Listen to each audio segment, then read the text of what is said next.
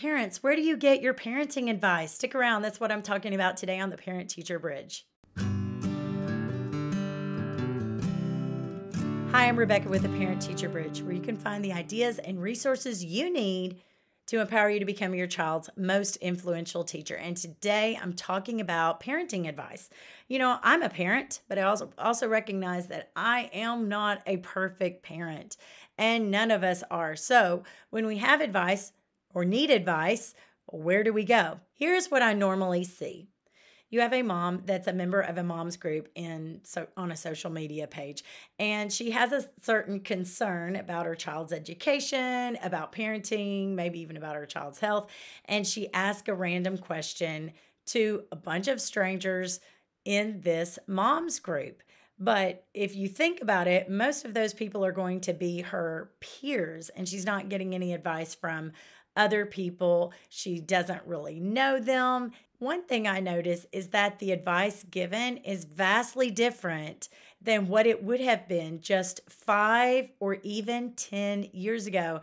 And that tells me that something is changing. In other words, the answers that you're getting is not really they're not really based on a standard. They're just based on what is popular at the time. And if you study history you know that just because something is popular at the time does not mean that it is the best decision. Sometimes when moms post questions they are just looking for some sort of approval.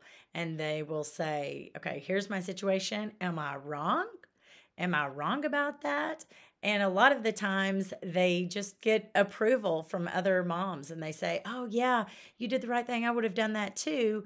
But you don't know the people, you don't know their children, you don't know how they're raising their children. So I'm going to give you some tips that you should consider about when you are asking for some of this parenting advice.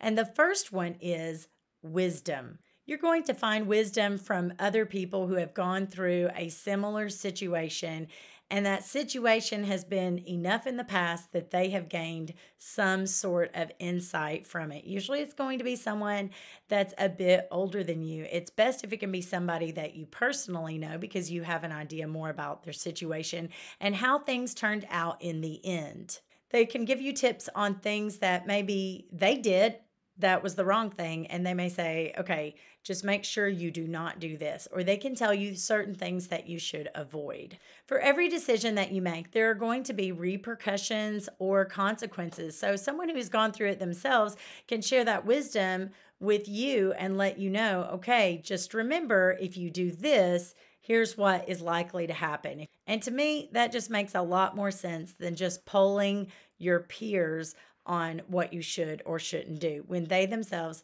have not really experienced that same thing and they don't know what it's going to be like later down the road, like an older person would. Parents, are you looking to spend a little bit more time with your children and influence them? I welcome you to consider homeschooling. I have a special download that you can get for free. It's called Survival Guide for the New Homeschool Family. Let me encourage you to at least research before you say it is a hard no.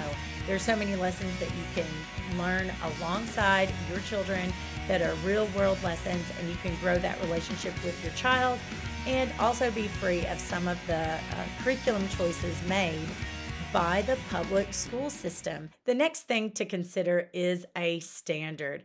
You know, it just makes things easier if you have a set standard that you follow because a standard, by definition, is something that's not going to be moving. If you are just using what's popular at the time, like I said before, it's going to change five or 10 years from now versus something that's been tried and true and tested. You have a standard to measure your decisions up against. Now, for our family, the Bible is what we use for our standard. Just by following some biblical principles, we already have some decisions already made for us. There are some things we don't have to wonder about. It's a given no, or it's a given yes. And then if there's something in the gray area, we can slow down and reflect on that, gather wisdom from someone else that we know who has been through that, but we use a set standard that many people have used for years.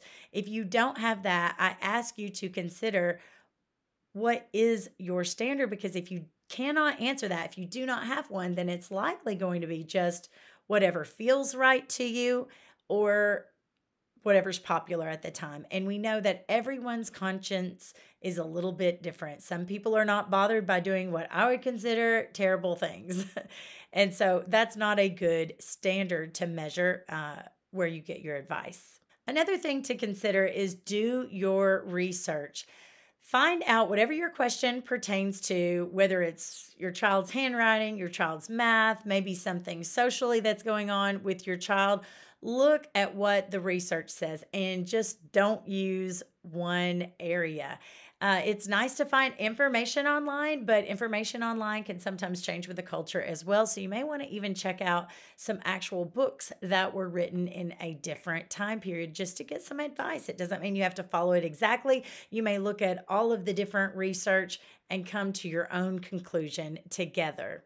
Now, I'm not saying that change is bad. It is always good to grow and adapt and to reevaluate things. But if you are constantly changing, as in you are changing with the culture where so many things change between two and five years, it can lead to confusion with your child. So here are some things before parting that I'm going to share with you that you need to reflect on. The next time you feel the urge to ask a question to your peer group online, remember, Find solid research on the issue from different sources. Consult experienced parents that you personally know who have some wisdom to share. Consult your set and proven standard, whatever that may be. Again, for us, that is the Bible. You may follow a certain uh, parenting guru out there.